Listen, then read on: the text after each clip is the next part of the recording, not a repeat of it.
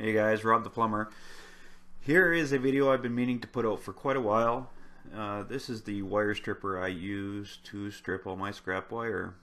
Um, yeah, it doesn't have a motor on it and it's not really fancy. But it is super basic and that is a good thing. This wire stripper can do every size of wire, single strand, multi-strand, uh, three wire Romex, two wire Romex, it's actually really good that I made this video as late as I did because it is the end of the season, snow's on the ground, and I have put over 800 pounds of bright number one through this wire stripper. Uh, the gross weight was close to 1,300 pounds of uh, insulated wire. I haven't changed a blade on it. I haven't sharpened the blade on it and really it's not in need of a sharpening anytime soon. The cost is the main factor though. This wire stripper basically cost me 20 pounds of copper.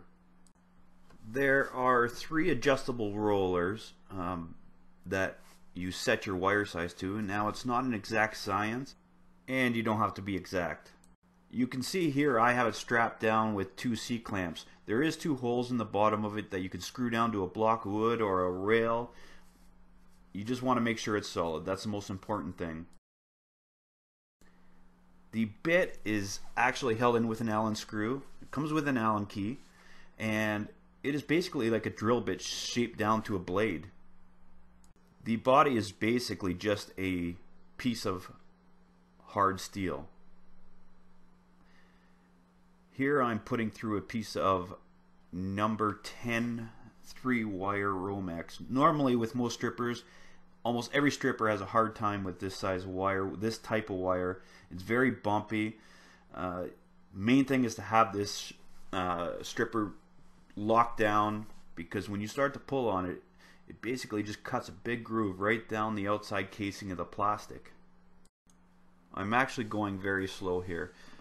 Normally I will pull the wire through the stripper much quicker. I'm just trying to show you the nice clean groove it cuts in the plastic casing.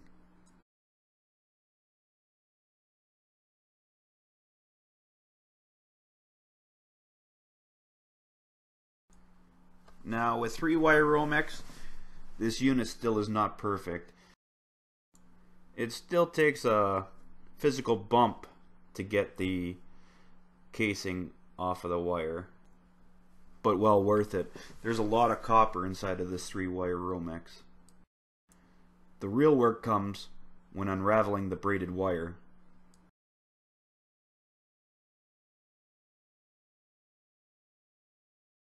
Here's some 6-3 burial wire that I've already moved the outer casing from. This is where the unit really, really pays off you can get a pound a foot from this type of wire.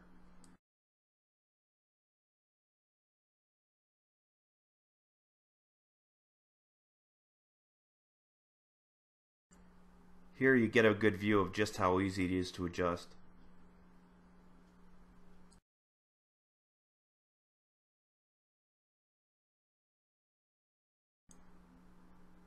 Once the unit's set,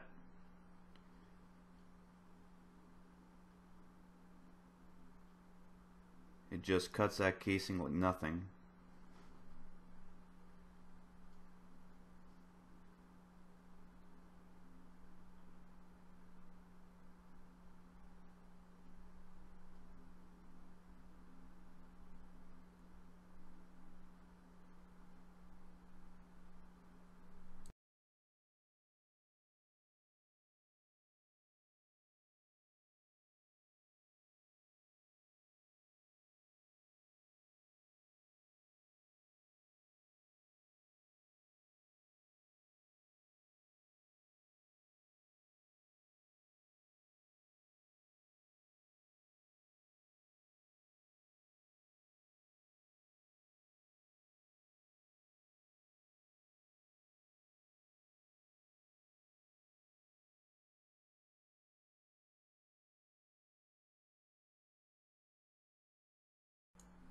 And you get a big pile of scrap plastic very, very quickly.